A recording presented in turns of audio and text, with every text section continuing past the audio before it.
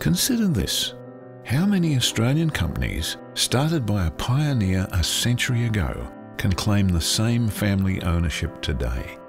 And this, how many Australian companies can say quite honestly that their 2,000 strong staff are still considered part of an extended family rather than a workforce?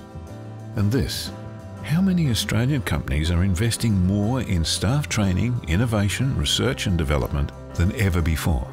Not many. Here, however, is G. James, 100% family operated, 100 years in the making.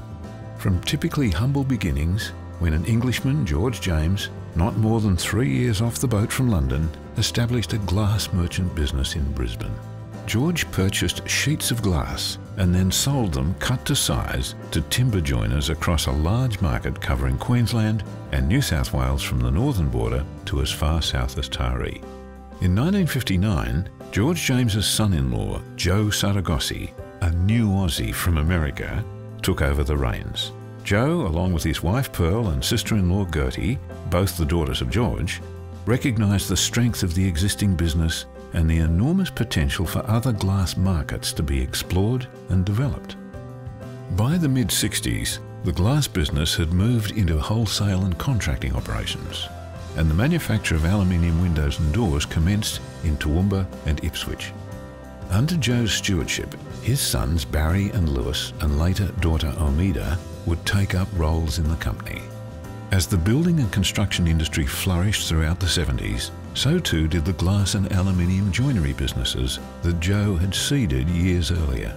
To take advantage of this increased demand and to become less reliant on third-party suppliers, Joe began an extensive program of expansion and capital investment, the most significant being in 1977 with the commencement of G. James Glass Products in Sydney. Plants in Brisbane and Melbourne would follow. The rollout of branches continued as the company adopted the business model of offering easy-to-access glass products and glazing services, in addition to locally made windows and doors. With ongoing confidence in the marketplace, and in line with Joe's philosophy to be more autonomous in supply, he made the ambitious decision in 1981 to commission the company's first extrusion press and surface finishing plants in Brisbane. This move saw the beginning of G. James Aluminium Products, with the division later expanding operations into Sydney, Melbourne and Perth.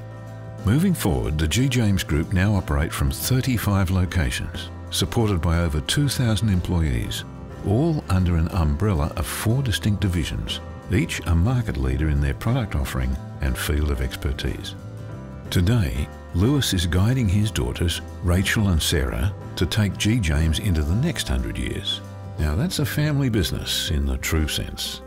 G. James Group of Companies has grown from a sole trader in 1917 to become Australia's leading integrated glass and aluminium manufacturer and contractor, actively providing solutions through the successful fabrication, processing and installation of a diverse range of products.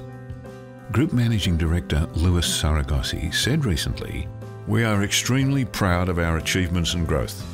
Our future prospects have never been brighter and more certain as we continue to provide our customers with value for money products and an industry-leading experience, all based on a sound financial footing. As G. James celebrates its centenary, it has become a truly national entity, defined not by regions, but by a country. And not by anything will do products and services, but by quality, technologically advanced products and dedicated service. Join us for another exciting 100 years.